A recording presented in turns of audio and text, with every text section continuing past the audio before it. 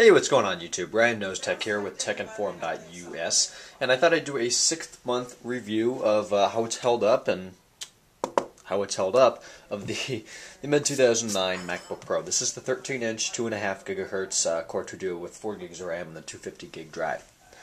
Um, I haven't done anything with the specs yet. I am planning on putting a 500 gig, 7200 RPM hard drive in here uh, from Western Digital and 8 gigs of DDR3 memory um, instead of the 250 and the 4 gig of RAM within the next uh, probably two or three weeks after I get the iPhone. But anyways, this is uh, pretty much just going to be hardware, how the physical device is held up since then. So it's been uh, six months this week. It's I've used it every day. It's been a great experience. I love using a Mac. I think it's really well built.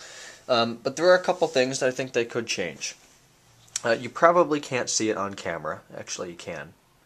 Right here, there's three distinct, maybe even four there, three distinct tiny little dents. And it is a little dent, and uh, inside it looks like it's got some black. So whatever hit it, hit it hard enough to leave some uh, black in there. I've tried cleaning it with water, some you know pretty light chemicals like Windex, and it hasn't uh, has not come off. It, I don't th really think it hurts the device look too bad.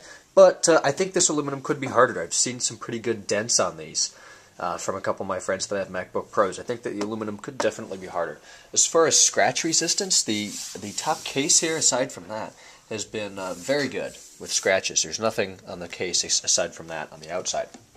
Um, the ports, sometimes you'll see after having one of these for a while, gets real nicked up around the ports. I have noticed where I try to fumble and put the cords in, the little icons of what it is has worn out.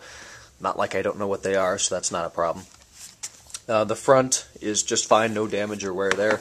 Um, the other side, where your, where your Kensington lock goes here, if you put it on and it gets pulled or tugged a little bit, you can see a little uh, scratch there. It's not too bad though, but uh, again, the aluminum could be toughened up on the bottom, I think this is really where they could do a, little bit better job. And that again would have to do with the uh, aluminum being toughened up. You can see there's a couple little scratches here, little um, nicks on the edge, nothing too bad.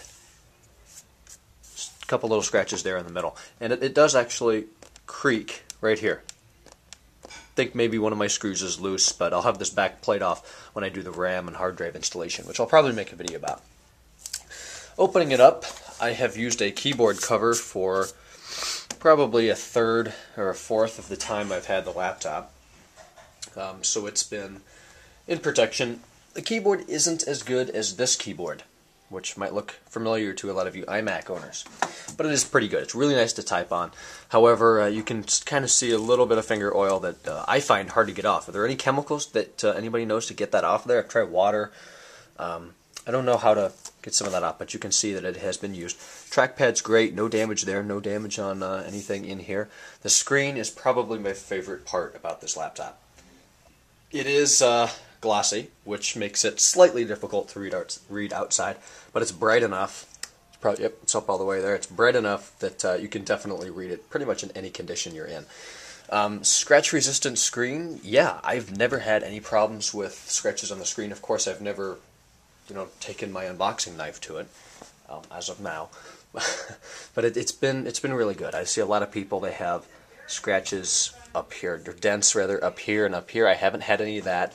Uh, the only time I've dropped it, I actually dropped it um, this morning off off my bed on the floor, and that did absolutely no damage. Um, but the previous time I dropped it back in, I don't know, February, March, it hit uh, on this corner, and there's absolutely no damage there. So the corners seem to be all right. Anyways, the 13-inch MacBook Pro, sixth month, damage history, anything. I've pretty much just got this little place here.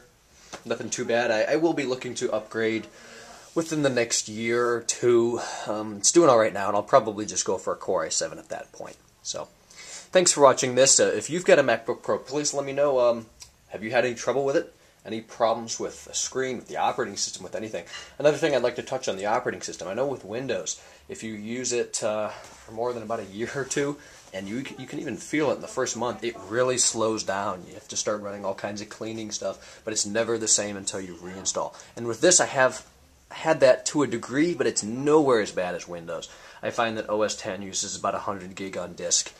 Or, that's not true. I'm using about 50 gig of that. But OS 10 still uses 50 gig, which I think is a lot, uh, more than Windows, but not a big deal. So let me know uh, your experiences with your Mac, your MacBook Pro, whatever Mac you've got. Can't wait to read and reply, read and reply to those. In the meantime, check out our website, techinform.us. The the final product is coming along shortly, but uh, it's being controlled from iWeb on this guy right now. My Twitter is twitter.com slash James R. Schultz, and every Tuesday night between 7 and 9 p.m. Eastern Time on ustream.tv slash techinform us, we host our live web shows. So we see you guys there or in tomorrow's video. Please don't forget to subscribe. See you tomorrow. Bye-bye.